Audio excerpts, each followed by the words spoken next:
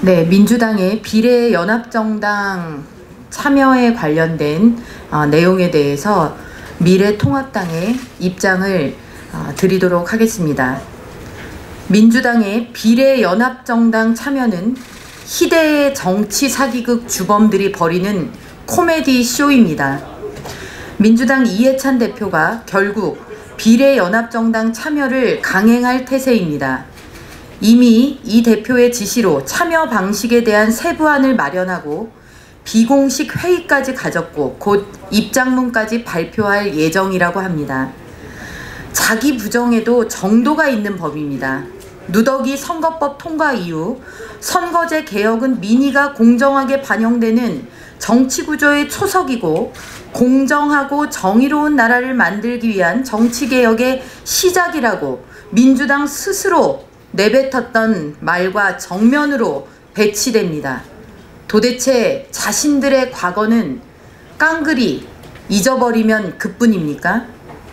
결국 불법 1 플러스 4 협의체로 통과시킨 일회용 누더기 선거법이 사실은 의석수 챙기기를 위한 야합이었음을 스스로 인정한 꼴입니다. 심지어 민주당 김종민 의원은 비례 7석 정도만 민주당이 차지하고 나머지는 군소 야합 정당에게 몰아주는 식의 공천까지 거론했습니다. 그러면서 7석 정도라면 민주당의 당리당략에 의한 위장정당, 원칙에 어긋나는 것은 아니라고 본다는 옹색하고 기괴한 논리까지 펼치고 있습니다. 도대체 국민을 어떻게 보면 이런 말과 행동을 서슴치 않을 수가 있습니까? 권력 앞에 염치도 양심도 모두 팔아버린 것입니까? 마포 회동에서 명분이야 만들면 되지 않느냐던 김의원 자신의 말 그대로입니다. 의석에 눈이 멀어 민주당에게는 애초부터 정치 개혁이나 민의는 중요하지 않았던 것입니다. 미래 한국당을 향해 의회 민주주의를 근본적으로 위협하는 행동이라며 힐난하던 정의당마저도 이제는 연대는 가능할 수 있다며 슬그머니 본색을 드러내고 있습니다.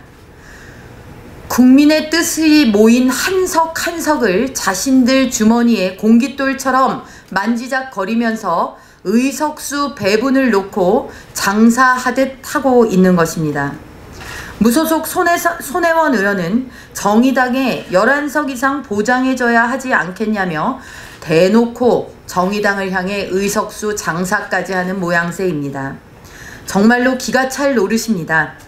국민들의 의사를 왜곡하고 정당 선거를 방해한다면서 황교안 미래통합당 대표와 한선교 미래한국당 대표를 고발했던 이들이 바로 더불어민주당과 정의당입니다.